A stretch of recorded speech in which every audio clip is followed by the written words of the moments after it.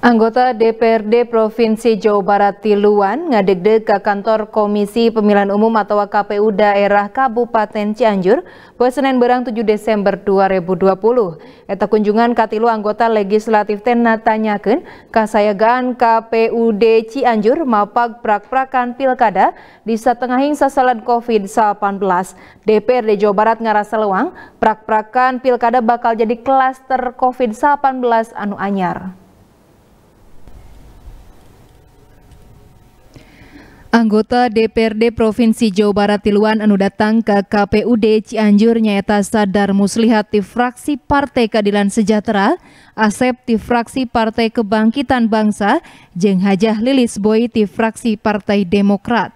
Eta wakil Rahaya Tiluan asal Dapil Kabupaten Cianjur teh dipapagku Komisioner KPUD Cianjur Tiluan.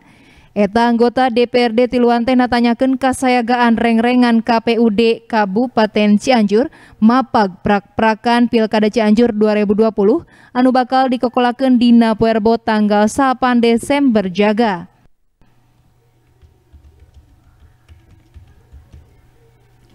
Cek anggota Komisi Hiji anggota DPRD Provinsi Jawa Barat Sadar Muslihat, perak-perakan pilkada di satengahing sasalad COVID-19 dirong bakal nguniangkeun klaster anyar COVID-19. Kukituna, butuh mekanisme nyoblos anu HD di Saban TPS. Nah, terakhir saya juga sampaikan ke Pak Gubernur eh, dengan kebijakan dihentikannya pilkada serentak, kita dulu mengira bahwa pilkada itu tidak akan dilaksanakan atau ditunda ya karena keadaan wabah pandemi COVID-19 ini tetapi tetap dilaksanakan. Tentu ada kekhawatiran eh, pilkada ini menjadi klaster baru.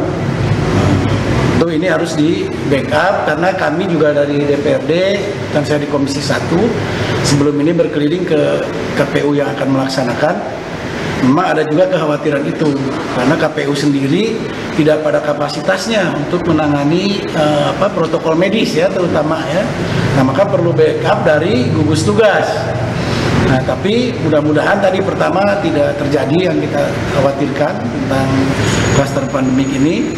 Yang kedua juga tidak menurunkan tingkat partisipasi.